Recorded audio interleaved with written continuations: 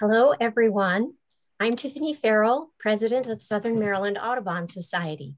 Thank you for joining our Audubon chapter for the monthly program, Local Wildlife River Otters. Our presenter tonight is Karen McDonald. Over the past 16 years, Karen has been the Educational Outreach Coordinator for the Smithsonian Environmental Research Center, though she has more than 23 years as an informal educator. She works with scientists and researchers to translate Smithsonian science into hands-on learning opportunities for K-12 students, as well as creating teacher, professional development workshops, and mentoring interns to become the next generation of informal educators. Previously, she worked for the Delaware State Park System as a nature center manager and park naturalist. She has an MS in biology from the University of Central Arkansas and a BS in environmental science and philosophy from Ferrum College, Virginia. Our program here focuses on the river otter. Although it's native to the Chesapeake Bay, not much research has been done on its populations, habits, and role in the bay's food webs. Karen will introduce us to basic river otter biology and otter research taking place at the Smithsonian Environmental Research Center. Welcome, Karen. Hi, everyone. Um, thanks for coming tonight, and I appreciate you taking your evening to join us. And some of you might have seen previous talks with river otters. If you have, thanks for coming. I did include some new videos, so hopefully you get to see some new material today. So I'm excited to share with you our research and what we do. So with that, I'm going to go ahead and get us going. Um, can you see my screen okay? Good? Yep, I got it. Just making sure. So I call this things you ought to know about river otters. Now, as a naturalist, I started out actually in bird research and bats. And so I did some echolocation work and then I worked with um, warblers and Kentucky warblers and painted buntings and a variety of things. And then eventually I moved to working with Hawkwatch International, um, and now I work with my wife and I help her and assist her rescuing birds of prey and raptors, but I've been a lifelong birder and naturalist. And so otters is just kind of a natural uh, transition. It's also a really great charismatic organism that I can use for teaching um, that also correlates really nicely with our research. So with that said, things you to know about otters. Now, most of the time, when people think about Smithsonian, you know, I, I hear things like the castle, the elephant, the tundra, you know, air and space, giant pandas, magazines, things like that. But what most people don't think of when they see Smithsonian is things like our research centers. And we have a whole spectrum of those, everything from the Smithsonian Astrophysics Observatory, which is up in Havad Yad, um, and they have their own space telescope, which is looking at X-rays in space and exoplanets, the Arctic Studies Institute, um, the Institution Archives, the Tropical Research Institute in Panama, Forest Geo, Marine Geo, Conservation Biology Institute. So the Smithsonian is a lot more than just a repository of items and artifacts and things like that. We actually have active scientists in North America, but also all over the world. And that's part of what we do at the Smithsonian Environmental Research Center, or SERC. Um, so we're located on the Rhode River, and normally I would be here where the little X is, and we sit on about 2,300 acres of land and on a brackish water um, body of water, the Rhode River. And that's been where we've been doing the majority of our studies with river otters, including the South River and a few other locations where people have posted sightings for us. And like I said, we have a, a, big campus and we consider it a natural laboratory. It's a long-term conservation site, but it's also where our scientists do research in the forests and on the land, but also in the water. And there's about 15 miles of protected shoreline, which is a great place for us to do some of our research with river otters. And of course, we've got forests and wetlands and marshes. Now, I'm not going to go through all of our research labs. We've got about 21 of them, um, but just some examples of those are things like our fish conservation lab that works with sharks and cow-nosed rays, um, biogeochemistry lab looking at climate change and how it affects marshes, um, marine and estuarine ecology, microbial ecology, spot the birder in that picture, um, and then a whole bunch of different things like marine biodiversity, ocean acidification, terrestrial ecology. All of these different laboratories are based out of SERC. They work at SERC, or they may travel around the world using SERC as a hub and a place to come back to. Now, I am the education director and coordinator, and so I work with translating those really complex science concepts into understandable things that make science and nature meaningful for our visitors, for students who may ne have never encountered science and nature before in the wild. So that's my job is I take that science and I try to make sense of it and to allow students to engage outside, hands-on in the water, in the forest with that scientist and do things like our scientists do. And that includes teaching teachers how to take those practices of science and translate them.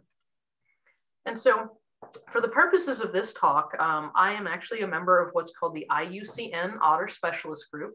For almost every animal you can think of, there is a specialist group with the IUCN, and these are the folks that do the classification of, um, of organisms as vulnerable, threatened, and endangered. And the Otter Specialist Group, of course, focuses on otters, and that's around the world, but that also includes here in North America. And so one of the things that I like to ask is Have you ever seen a river otter? Now, some of you in the chat said you had, and that's great. In fact, river otters are more common than you might think. And the reason people don't see them all the time is in part because they're mostly nocturnal. Now, those patterns I've seen change, especially the ones that are um, with us at SERC in the winter time when there aren't a lot of people around. I see them scamper across the ice on the river. Um, so it really just depends, but primarily they are nocturnal. So people don't see them all the time and they're pretty shy. Um, they tend to stay away from people, but they are curious, which is sometimes why people encounter them in the wild. And so some of these pictures are actually coming from a friend of mine that took them from um, some river otters in Kentucky, believe it or not. But here in the Chesapeake Bay, river otters aren't well understood. They haven't been studied a lot. Um, there are some people who have done some studies that haven't been published and some folks who have done some informal studies, but there hasn't been anything official. Now, we have started to do that type of research, but I wanted to kind of back up and talk about how we got there because the origin story of this has been kind of fun. Is uh, essentially we have teaching docks at SERC where I teach off of. You can see some of our classes there.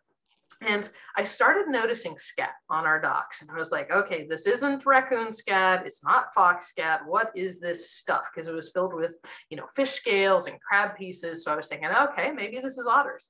So we ended up putting out trail cameras and starting to try to see if we could actually capture these creatures and confirm that it was otters. And so the trail cameras began to give us some insight as to what we had out there. So I wanted to share with you one of the videos, what was an up close um, of some of our otters that we've been seeing on our docks.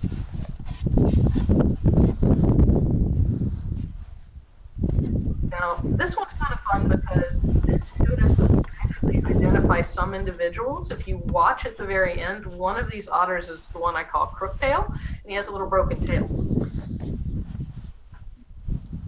And these are two males. They're playing, they're wrestling, they're, they're not fighting, they're just having a good time.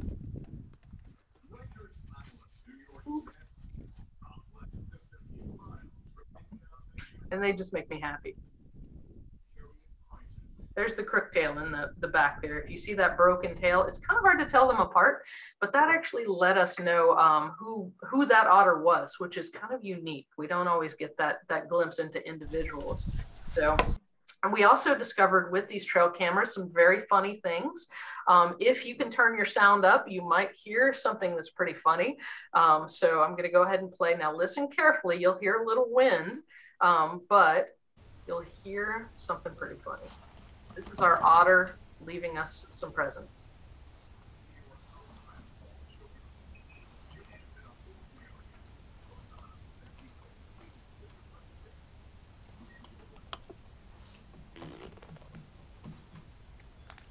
And for those of you that couldn't hear, that is my first recording ever of a very gassy otter, which we had no idea.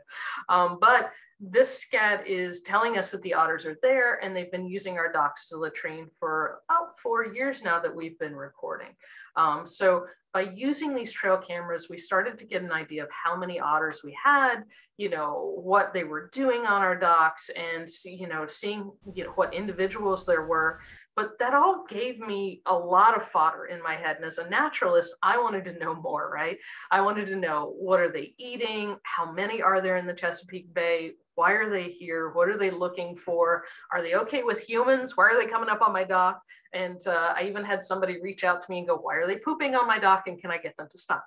Um, but I had a lot more questions than answers. So I started doing a little bit of research um, about river otters in general, and then trying to find out more specifically about our bay otters. Now, somebody asked about, you know, the species that are in North America. Now, the ones that we have are the North American river otter. Oftentimes, excuse me, you'll see them referred to as ROs or river otters. And then we have sea otters. Now, the ones that are here in the Chesapeake Bay, we only have river otters. The sea otters are confined only to the Pacific areas. Um, so river otters are inland and they're coastal and they're estuarine. They're across the US, but the sea otters are not. And if you look at these two, they're very, very different. We're going to compare those in just a minute. Um, but the only ones we have are the North American river otters. And so what I do want to show you is of the 13 species around the world, there's only one that's of least concern, and that's the river otters that are here in North America. But look at this list of otters around the world. They're either vulnerable, near threatened, or in the case of our sea otter, endangered. Um, and that's because of pressures due to human development, um, water quality issues. In the case of things like the Asian small clawed otters, people take them as pets. They really should not be pets. Um, but because they're small and they're cute, they are used in the pet trade, which has been made illegal now, and, and, which is great. But unfortunately, it's still happening. And so most people don't realize that this is happening to our otters around the world. And as an apex predator, that's a big red flag for the health of our ecosystems. And even though river otters themselves aren't endangered, they're still a really good indicator of the health of the system. And we'll kind of get back to that. Um, but I wanted to talk about the differences in river otters and sea otters, just to kind of give you that visual about, you know, what makes our river otters special. And of course, we talked about least concern versus endangered, right? Now, the North American river otters, they can be on land and water. And in fact, they can den up on land, they can run and scamper across land. They're very comfortable in both mediums, which is also why they're really good indicators of health of ecosystems because they're using land and water in that transition zone. Whereas your sea otters are just that. They like to be in the water. They don't like to come on land very often. Um, and they are primarily aquatic. Now, their ranges do overlap. In fact, river otters and sea otters have been seen in the same areas. They don't fight. There's no territoriality. Usually they just go, ah, and they go on their merry way. Um, but they primarily stick to their own zones, right? Now, the other big thing is sea otters are huge. They can be 60 to 90 pounds, all right? Our river otters, 10 to 33 pounds. So they're not nearly as big. And then if you look at sea otters, they have more flipper-like feet, webbed feet. And the interesting thing is they're one of the few creatures like cats that has retractable claws. Um, so that they can hold on to sea urchins and to their food, whereas ours don't. In fact, ours just have the webbed feet. And something really important about our otters, which is what we were finding, is that they poo on land and they leave latrines and diet evidence for us. Whereas with sea otters, it's a lot harder. We have to observe them in the wild to see what they're eating because they don't leave latrines, they poo in the water. And people ask me do they have predators? Do these these creatures have predators? And the pup phase is the most vulnerable when they're babies but you know river otters can be taken by eagles alligators and crocodiles in the ecosystems where they are coyotes will take them, bobcats, humans will take them for hunting because there is a fur bearing season.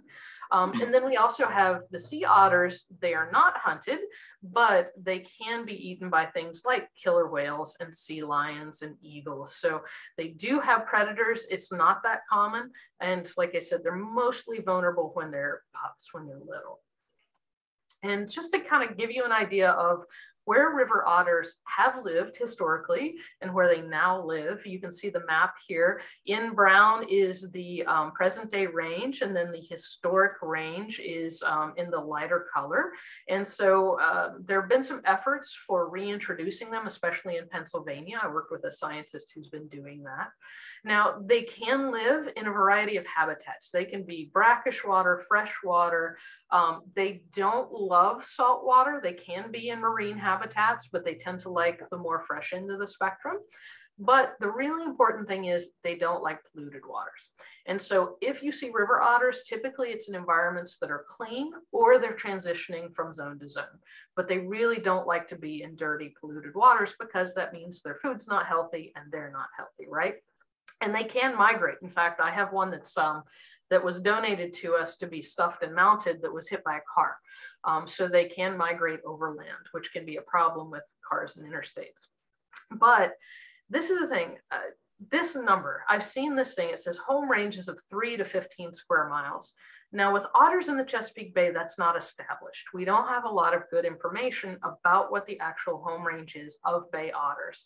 Um, we're still trying to establish that. And in fact, that's gonna be part of what our diet study is going to be with some of our urban waterway projects um, and collecting scat from these species. So that's not fully established for us yet. And just to give you an idea, the map with the blue on the, the end there, that's exactly the range along the coastal zone um, where our uh, sea otters live. So a few fast facts about river otters, which I love. They are in the weasel family, and I love to call them stinky weasels because they do have stink glands. Now, they don't spray like skunks, right? So they're not, you know, leaving ooze and smell and gunk. Um, but they do have a gland and they do um, secrete a type of jelly or mucus that they use for marking and for scent. Um, but they are in that mustelid in that weasel family. And then like I said, 10 to 33 pounds. Now, I've seen statistics about females being about a third of the size of males. And I question this. And this is for the otters that I've seen so far. And of course, I need a much bigger sample size. But the females that I've seen so far have been pretty big and they've looked about the size of the males. I need to do more studies on this. But so far, what I've seen is they're bigger than I thought they would be. Um, and then you know, eight to nine years in the wild is average, and then 16 in captivity is the longest, and then mostly nocturnal. I also like to say crepuscular, dawn and dusk, because that tends to be the times that I'll actually physically see them around our dock areas. Okay, so let's talk a little bit about their adaptations. And these are some of the things that, that I was learning about doing the research, um, but that also give me some insight into the otters. So they have a long muscular tail. It acts like a rudder. It helps them swim. They have strong hind legs with webbed feet for swimming. They have really dense, thick fur with oil glands that help keep them waterproof. They have little wee ears on the top of their heads that are close to the heads that keep them water dynamic, and they can close them off when they dive, which is kind of a neat adaptation. And they can also close their nose off when they dive and go underwater. And it's estimated the longest that it's been seen, they've been underwater is about four minutes, which is pretty impressive. Um, their necks are about the same size as their heads. So again, it keeps them hydrodynamic. They have front feet with really tactile hands and claws that they can use for holding and gripping, and they're very sensitive. And then they also have whiskers, which is um, are also called vibrissae, and especially in the bay where the water's pretty dark um, or hard to see through and a lot of sediment, those whiskers and those hands that are able to feel things, they are able to sense and to move around in that turbid water pretty well because they've got that. And of course, they've got this little membrane that goes over their little eyeballs that helps them um, move around too. And so that's that eyelid like goggles. And then they have really sharp teeth. And for those of you that are skull aficionados, they have all carnassial teeth. So all of their teeth are sharp for ripping and tearing and eating um, meat, essentially. You know, and that diet is varied. We're going to talk about some of the things we found, um, but primarily fish is the biggest component, but they'll eat a whole bunch of other things too. And the really neat thing is otters have the thickest fur of any mammal. And especially your sea otters, they have super, super thick, dense fur. And our river otters are just the same, a million hairs per square inch. And one of the things that's really cute, if you ever watch the, um, the sea otters floating on their backs with the babies, look carefully and you'll see that the mom will actually blow air into the baby's fur. And the river otters do this to themselves when they're grooming and blowing that air into the fur dries it out, but also helps keep them buoyant, helps keep them floating. Um, so that's one way that mom helps keep those babies afloat because they can't swim very well yet. So this is the thing, we're, we're doing this research. I was doing this research on otters, right? And using these trail cameras, we were starting to learn some new things. Now, I, I, re I reached out to one of our collaborators, Tom Serfass, and he works with Frostburg um, State University, and he is Dr. Otter. He's done otter introductions. He works with otters in Africa and all over the world. Um, but he was curious about bay otters because they not a ton is known and he himself was curious about the populations which is what sparked the research that we've been doing at SERC too along with these videos and things that we were finding so I wanted to share with you some of the things we were learning um, from these trail cameras, the footage. One of the very first things I learned is you got to tie down your equipment. And this is why.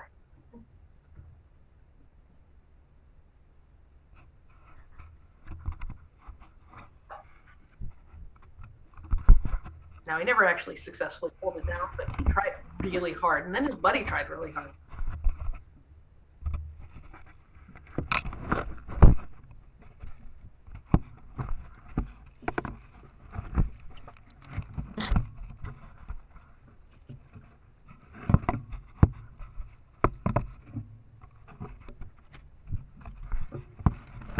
And I just thought it was the funnest thing belly of an otter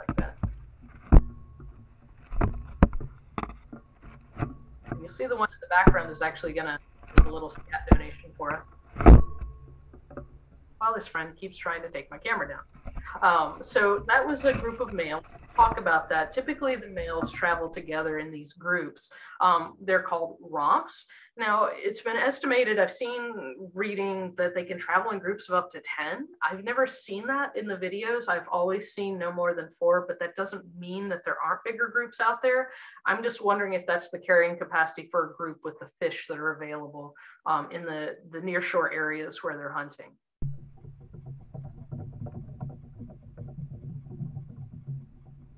And you see they're perfectly comfortable um, on the docks. They're rubbing and sliding. They're drying their fur off and getting a little bit more floofed out and waterproofed, um, spreading that oil around on their fur too.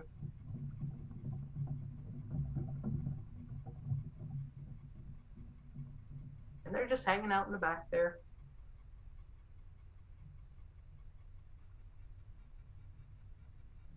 And some of the other things we started seeing were some neat social behaviors with marking and grooming and how they interacted. And so this is just a video showing some of those interactions. And you might even be able to hear it a little bit. Mostly they're just run, rubbing around.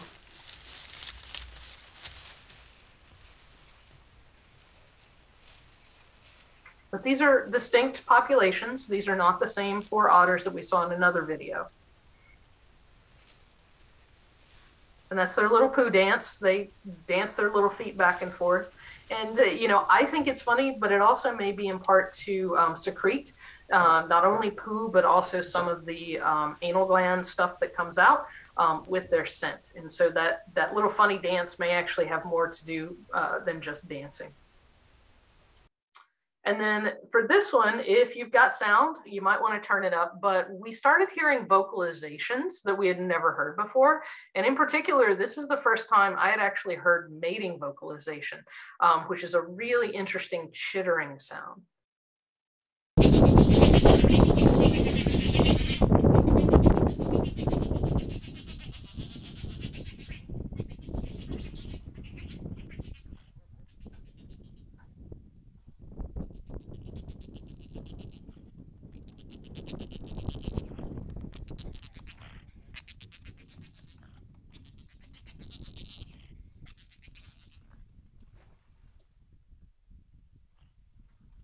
And that was the first time I had heard that. And since then, we have gotten more of those instances of the mating behavior and that calling. And even off camera, I've heard it when they've been in the water. Um, but the interesting thing is, this was in March, which is about the time that um, river otters are known to be mating.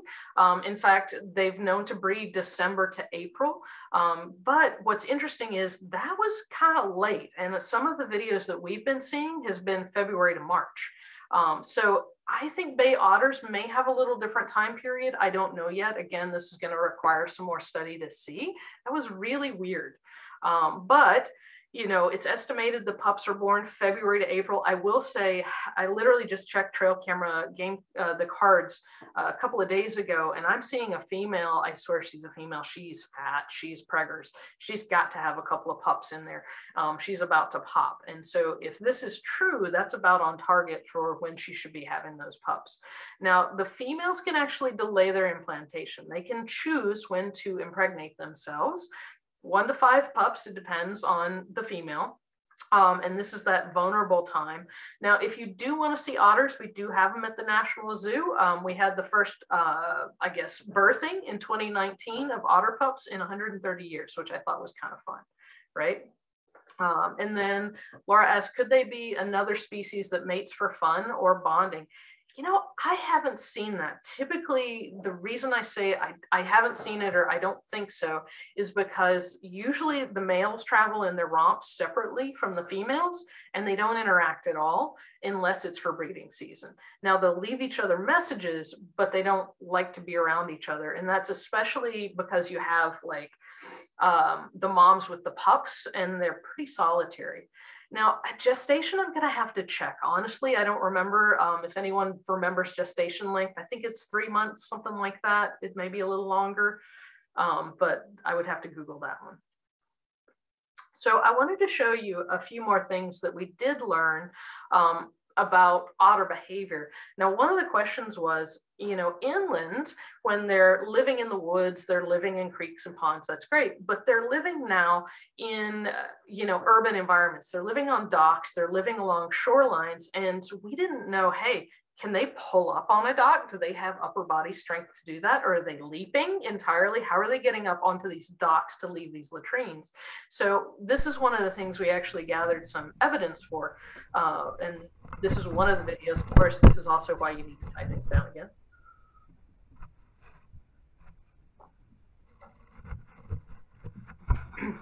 this is actually along one of our trails.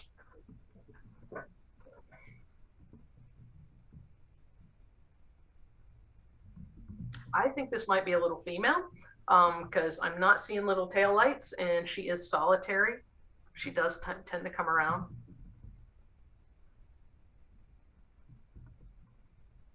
It could also be the pup of the year too.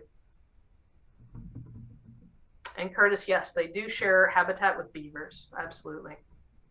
And how do they know there's a camera? I believe they can see the infrared lights that are on. It doesn't seem to bother them. They're more curious about it, but really the ones that are on my docks now just ignore it entirely. It doesn't seem to bother them at all. And um, person that says you're talking about mink, I will actually show you some pictures of some other species that are living around them. So hang on to that question. That's a good question. So she's just sniffing around and hanging out. But the main thing is I want to show you the upper body strength on this one and how she's able to pull up.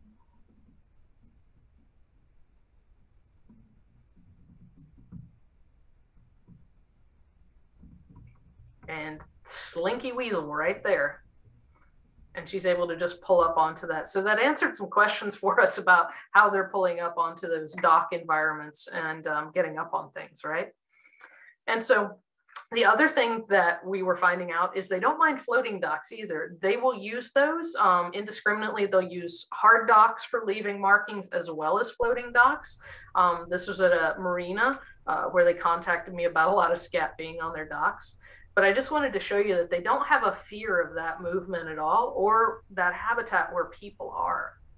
They're a little shy, but they're still there and they're still leaving those markings.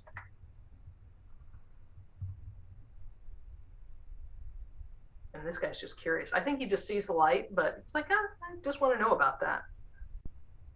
Um, and then the other one that I wanted to kind of show you were some other vocalizations. Now, this isn't the, the best video. Um, oh yeah, and they might be smelling the, the cameras too. I think that's a great, great point. Um, but these vocalizations are really interesting. So if you've got your sound, you may want to turn it up a little bit. You can hear some chirps and some chitters um, that I hadn't heard before that I thought were just great.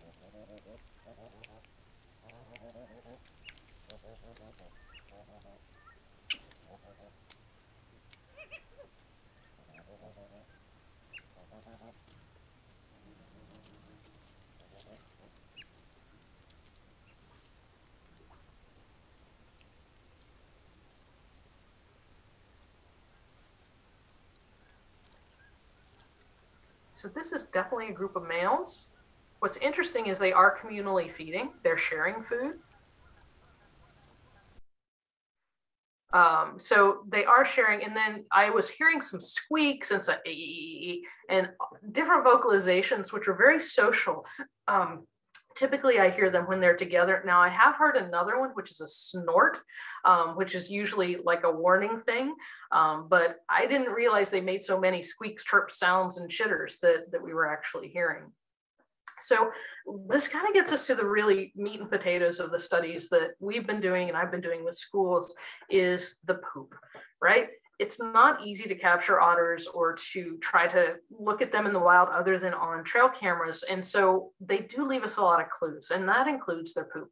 So one otter poop is called a spraint, like a sprained ankle. And then two or more um, poops there is a latrine. And then they leave behind this kind of yellowish looking marking mucus, um, which is gross and disgusting. But this is the interesting thing. This um, scat that they're leaving behind it's hard to get DNA out of it to figure out what otter is which or what food they're eating because a lot of times they're eating crayfish or they're eating blue crabs, um, which has a chitinase in it, has a lot of chitin, which breaks down and degrades DNA. But what we're finding is in the mucus, in the goo, it actually has a nice sloughing of DNA from the intestinal lining so we can use that. And so this is something that we're going to start looking at. And so I started talking um, with Tom, with Tom uh, from Frostburg State, and then Katrina Lohan, who's one of our scientists at SERC. And she studies marine diseases and parasites. And I know this sounds scary, but it's not. It's a really important part of our food web um, because she's interested in what we call multi-host systems. So food webs where parasites and other things, in some cases like plastics, can be passed from organism to organism as they're eaten. And then what are the roles of those parasites? And, you know, how are things like oysters and the health of oysters affecting um, disease rates in other organisms as well? And so she's innately interested in parasites. And so that was kind of a natural tie-in because when I was looking at otter scat, I started seeing some worms. And we know that um, the sea otters are actually endangered in part because of toxoplasmosis from cat poo that's washing off the land and affecting them and causing brain issues in them, which may also be affecting our river otters. There have been some studies, but um, I haven't read a ton on those yet, but I think it's something interesting to keep an eye on. So she's part of what's called the Smithsonian Interconnected Health Initiative. This is huge. It's 140 countries, international, and it's scientists that work with wildlife and they're looking at the interactions of humans and wildlife and trying to figure out the interconnections and taking this multidisciplinary approach um, to science, to people's cultures, and to educating people about human impact on the environment. And so she's been doing scavenger hunts. I just love that. I thought that was great. Um, with the scat, trying to figure out what's in that scat, what are they eating, and what are these parasites that are moving from the fish into the otters because some of those same fish that the otters are eating are the types that we eat, like your striped bass and your white perch. And so this may be a way of looking at parasite loads in ecosystems right? And the other thing, and this is me, like I just think that otters, and based on other studies that people have done, they're wonderful flagship species, right? For research and for education. They're charismatic. Um, they're really good symbols and rallying points for students. And as you can tell from the number of people here, it's, you know, people love them. They're really fun.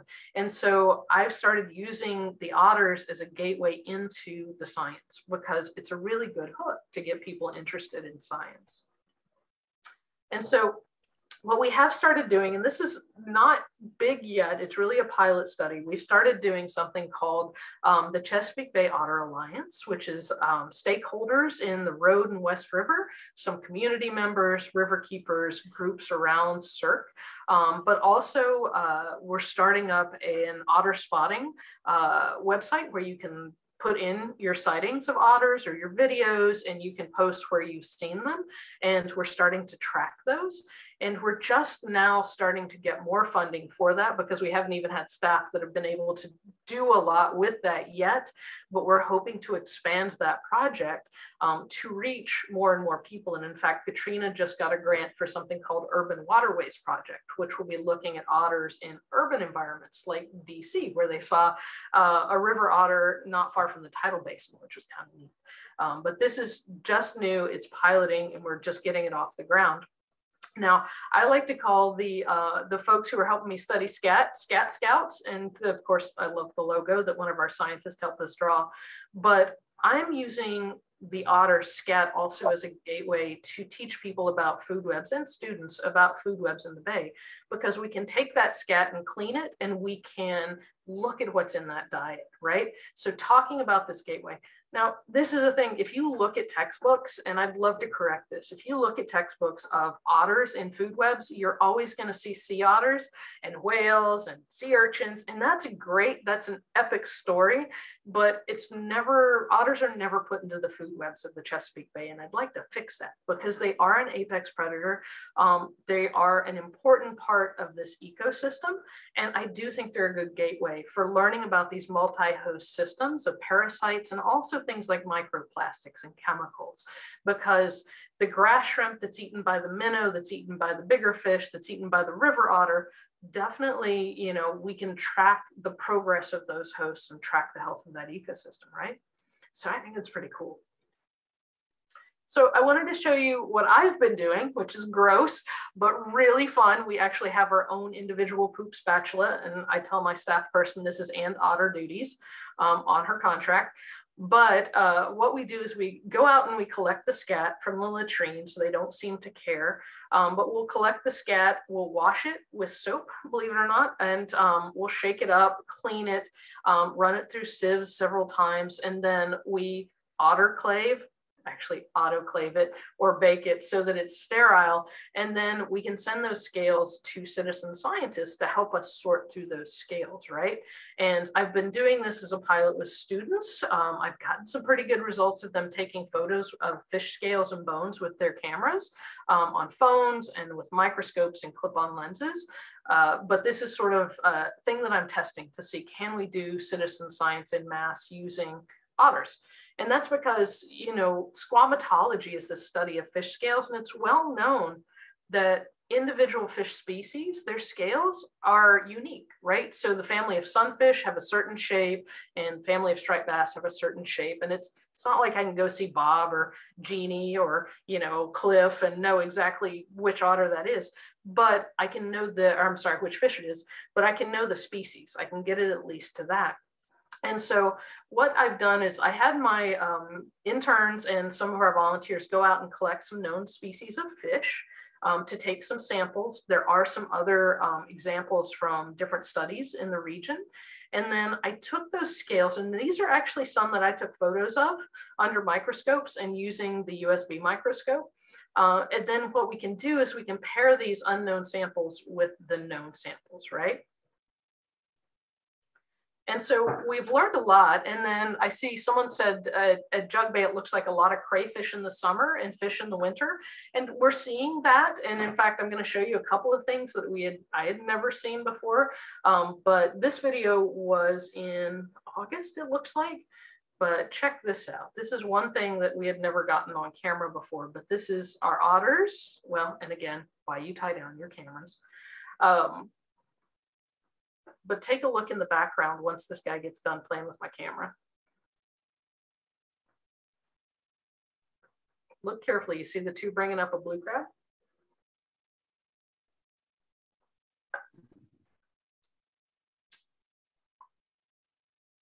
And that blue crab just about made it out. this otter just really wants my camera.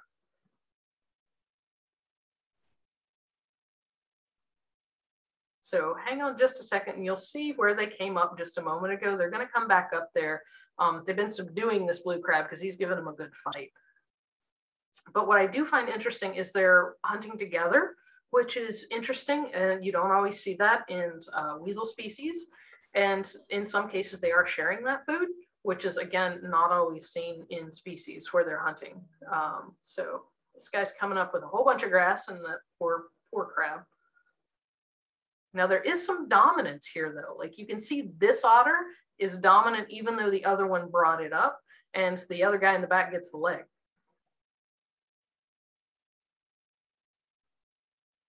It's like, no, no, this is mine.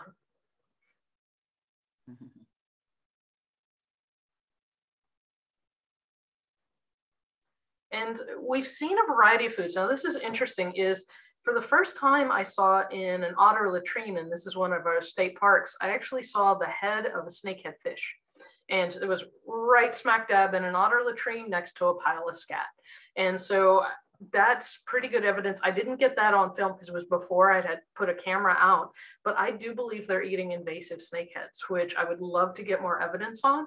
Um, but I think that's pretty interesting. Now, this video um, shows one eating an eel, and if you look closely on the right, um, that one is actually eating a duck. Look for the um, the fin or the sorry the foot. I know it's a duck because I went out and gathered the guts later to try and figure out what duck it was.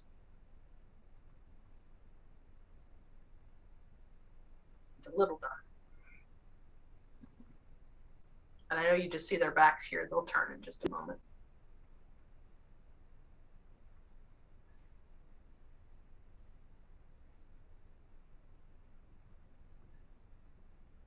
See that little foot? And then you can see kind of that long eel-like thing in the back here. They do just seem to enjoy their food, I'm not going to lie. Now, this video, if animals killing other animals bothers you, I will say turn away for about two minutes or a minute, um, because this is the first time I had ever actually gotten an otter with a duck, bringing it alive up onto the dock, which is interesting because I had only ever seen them bring up prey um, that was dead or dispatched. But in this case, it brought up a live flappy flappy duck, and you can probably tell what it is if you look carefully.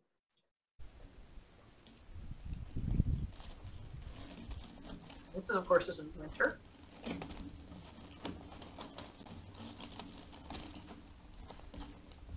fact, it was not that long, or about this time of year.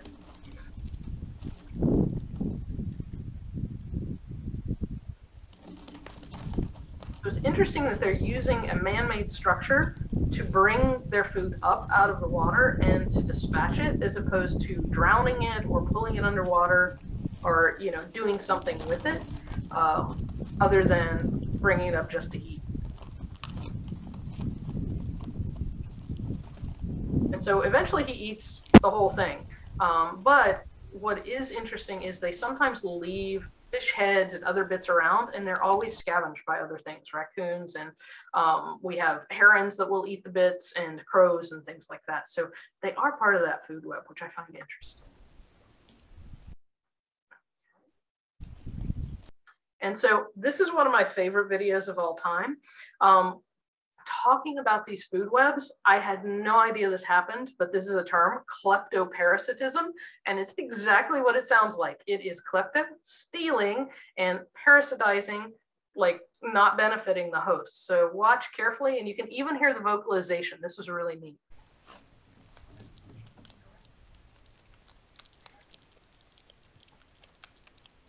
guy in the back, he's so not helpful.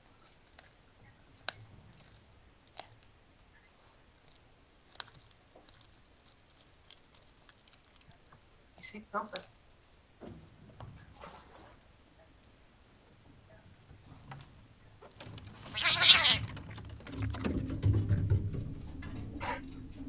and he just looks around like, what just happened? Where'd it go? Where's my fish? Dude, why didn't you warn me? All right, so I, I am gonna rewind that just because it's worth watching. Now I have several of these videos of raccoons stealing fish and the otter never fights. There's always this like chittering and he just gives it up. And I don't know if it's just doesn't want to fight. If you watch carefully in the back, you can actually see the raccoon crawl down the dock. He's actually crawling down. Um, his little eye shine will show.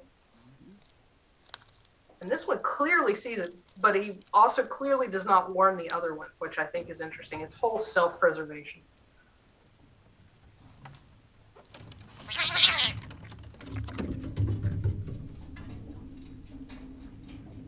And I did ask members of the IUCN group, this the otter specialist group, about kleptoparasitism in otters, um, and if other people had seen other species doing this. Um, and some of the folks from around the world had told me they had seen eagles doing it, and they had seen coyotes um, taking prey food from the otters, and they didn't end up fighting it. They just lost their food and their fish essentially. And this is one of the things I've started doing with students is analyzing trail camera images because there's a really clear pattern of when otters show up, raccoons patrol the dock shortly after and sometimes before. So the raccoons know the otters are there and there's some there's some good statistics to be found in the videos that we've been doing. So you know, just kind of bringing this all back, it's really an experiment. A lot of this has just been me having fun putting trail cameras out, grabbing the scientists saying, hey, look at this cool stuff. Let's start trying to explore it more and get some grants and try to get people interested. And I'm still learning how to use these trail cameras. I've lost them to floods and high tides. There is some technique to using trail cameras in the coastal zone um, because of plants, because of storms, because of the otters themselves pulling the cameras down cold changes battery life and all sorts of things. So it's really been, you know, a process, but I am starting to offer um, trail camera workshops. So if this is something you're interested in, definitely um, reach out to me. And kind of the last thing that I wanted to share with you too was somebody had asked about the species that are found around otters. You know, I know we have other species in the area, but what's interesting is I started seeing a real correlation of those raccoons and otters, right? Um, but also foxes and other creatures, right? And so what I started getting recordings of were foxes actually doing this. So watch this little foxy here. It's a little red fox. So this is a lat latrine where the otters have been. You've seen them in the other videos, right?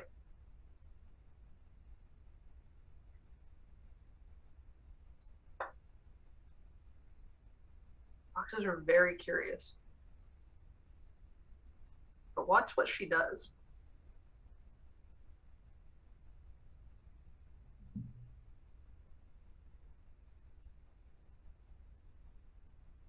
So she overmarks right on the latrine, right? And I've got a lot of videos of this, and it's not just a one time occurrence. In fact, the foxes will go out of their way to lift a leg on the latrine. Now, I asked Tom Serfass, our otter guy, about this, and he studies um, uh, otters in Yellowstone National Park, and he shared with me that they've done some research and they have shown that this is not unusual. In Yellowstone, they have shown that apex predators like wolves and bears and big cats will actually overmark otter latrines. They're not eating the scat, they're not, you know, doing anything other than just marking on it which may be a really interesting tool in the long run for looking at species that are in an area apex predators and doing population counts, which I think is just, wow, okay, that's neat. And then somebody asked me, okay, wait, what's what's up with this wolf, right? And I think that is either a deer or an elk head that it has in its mouth. I'm not 100% sure, but that's so cool. but these were all taken at an otter latrine.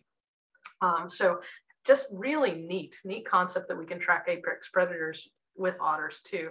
And then I started seeing some other species I had no idea we had in the area, including this little guy, which is a mink. So look carefully, you're gonna see his little white chin and um, tail, and this is that same overlook where the otters are.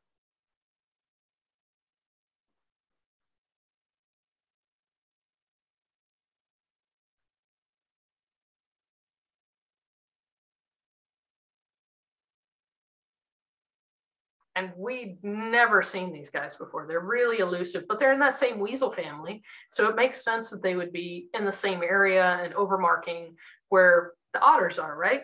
And then that also got us to this guy, which I apologize is kind of grainy, but this is a short-tailed weasel. And we had a big long debate about this guy, but this, I think we landed on the fact this is a short-tailed weasel. Um, it's not a mink. It doesn't have a white tail it's got a different physiology to it. And that was all we got, but that was the first time we had ever seen this short-tailed weasel. He's got little black feet. He's got a white undercarriage all the way down yeah so kind of neat right? Um, so these trail cameras have been so fun and you know you can get them for 40 bucks now on amazon. Um, they're cheap enough that you can put them out without worrying about them too much um, but it's worth just exploring and seeing fun behavior from animals. Like i had no idea raccoons raccoons swam um, but they do it pretty regularly.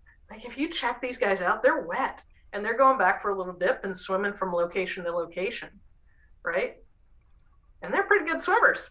But this is the same place where otters are coming up on the dock too. Um, but I had never seen that before. So it's been really a neat tool for natural history, for exploring um, our habitats and ecosystems, right?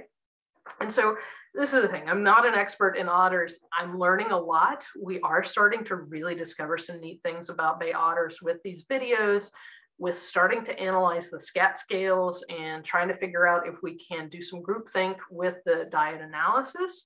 Um, I have been teaching teachers how to use trail cameras to study biodiversity in urban environments, in rural environments, in a whole bunch of different places. We've been putting trail cameras in the hands of teachers, trying to get them out there and interested in teaching their kids about the creatures that come out at night that they may not even know are in their ecosystems too, right? And so if you do want to start your own journey with trail cameras and learning about um, otters, you know, let me know. And we are offering virtual programs where I will send scat scales cleaned and cooked, um, otter claved, uh, to schools and groups and do a dissection with you live. Um, and then also I have a longer trail camera video analysis class and uh, programs that we're offering. So if that interests you, definitely feel free to email me. I'm happy to chat with you. Um, and it looks like we've got a minute longer. I do want to share with you one of my other favorite videos. Um, Tom Serfass, one of his students is studying skunks. And I just can't not show you this. These are baby skunks and the way they got them onto camera, because this is a weasel study, the way they got them onto camera is they put a cat toy on um, a little stick. And so watch these little babies. Oh. They stand up on their hind legs when they're scared of something but but they want to play at the same time, which I think is hilarious. They have the biggest fierces ever. I don't know what you are, but I'm very fascinated. Anyway, um, so with that, I will stop sharing and um, let's see if we can see if there are questions. If um, you want to put questions in the chat or you know unmute, that's fine. I see some people are talking about seeing you know raccoons and otters and things at beaver lodges. I think that's pretty common actually from what I've seen people have told me about. Um, any other questions? Let's see. Well, thank you very much. First of all, that was just awesome. I loved all the videos. It was very, very cool. Good. Anybody have questions about otters or anything they've seen or overmarking um, or even cameras? And honestly, I, I, I yeah. question about the um, they're sort of uh, they're, they're not picking fights with other species um, because they are so aquatic. I mean, you, is it possible that it's an adaptation to protect because a wound would be more problematic for a, an animal that spends so much time in the water? Or? You know, I don't know. I it may be a cost benefit analysis because some of the fish I see, they're bringing up American shad um, onto the dock, and those shad, I kid you not, are a foot plus long, and they're only eating like maybe a quarter of it and leaving it on the dock. And it may be that just food is abundant enough that it's not worth fighting over. Um, so it, it may be that cost benefit, or it, it may be that's just like ospreys, they're not into fighting. I don't know. Has has anything in in your work so far uh, sort of supported the idea that they have a, a plentiful and varied diet uh, more so than yes yeah. um and i i don't I don't know all the things because unfortunately, you know, things like catfish and, you know, some of those creatures don't have scales. So if they don't, we're not finding evidence of them. But I've seen insect parts, I've seen some mammal bones, I've seen crayfish, a lot of blue crab. Blue crab is super common. Um, and then the fish species, a lot of slower moving nearshore fish they like sunfish a lot they like minnows a lot um, but really we're just now starting to analyze that to figure out what we're seeing um, but those are some of the things. And the ducks i know for sure the ruddy ducks um, and the snakeheads but i i'm i know there are things we're missing we haven't seen yet like eels we've seen and snakes. I know they're probably eating those too. Melissa asks, was the live duck a bufflehead? Yeah, it might have been a bufflehead. Yeah, it might have been a bufflehead. It's her ruddy, maybe a buffle. Anybody have a guess? What were your thoughts on that one? I know that I did have a ruddy. The first one, the very first video I showed, the tail was that little sharp pointy tail from the ruddy duck, but it might have been a buffle on the second one. Ollie asks, how widespread are otters across the Chesapeake watershed? That's the big question. That's the thousand dollar question. We don't know. Um, I think they're more common than people think, and we're starting to get sightings from across the area. We've seen them at you know inland locations, the Anacostia. We've seen them in downtown DC. We've seen them all over, and I don't think we have a good quantification yet. And I don't think we have a good quantification on their home range. Um, talking to people that own docks and the marinas, they tell me they see otters relative to tides, but also wind. When the wind is blowing a certain way and the fish move into the marina, they can predict when the otters will show up. And so eh, there's a lot we have yet to learn about where they're moving and why they're moving and how big that range is. So, I, big question. Stay tuned. Let's see. Um, uh, go ahead. Mm-hmm. You think you might eventually open up the fish scale volunteering to individuals as opposed to a group? We might, um, if I can get a good enough key. I'm still trying to collect enough samples of different fish right now. And part of the challenge with those scat scales is they're really tiny and you really need good lenses or microscopes to see them. Um, you can get them with hand lenses and things, but it's really, it's not super easy. And the other part is the scales are usually that we take as our samples are taken from the lateral line, like right in the middle of the fish. But the scales up near, near the tail and the scales near the head, even though they're the same fish and the same species, look different. So it's a really nuanced type of sorting. And I'm still trying to figure out the protocols that would make it easy enough for everyone to be able to do it. And that's part of the experiment with sending these to schools and seeing what we can do. Uh, Eddie asks, do you want sightings on the Eastern Shore as far away as the Assawoman Canal? Yes, and we have our um, our website is live, and I did not put it into the PowerPoint, but if you email me, I can send you a link. But if you go to our SERC webpage for citizen science, it says get involved.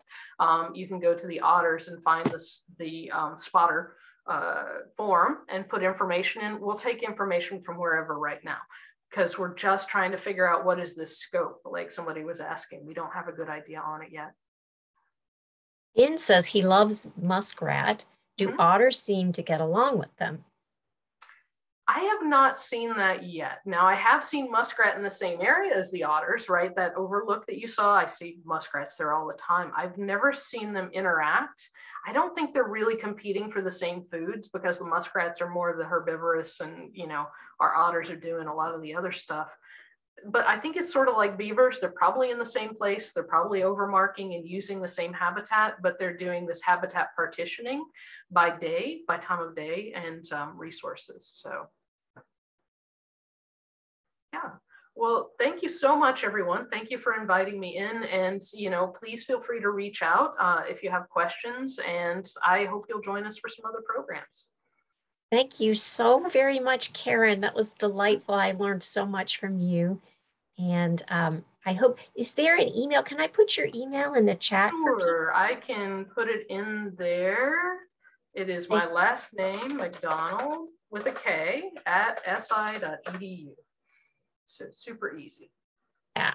So if folks have questions or want to get involved or maybe have you make a presentation for their school, then um, I know Deanna Wheeler said she was interested in that. Oh, great. Someone's put in the SERC Oh, good. Um, Thanks, Steve. I appreciate link that. too.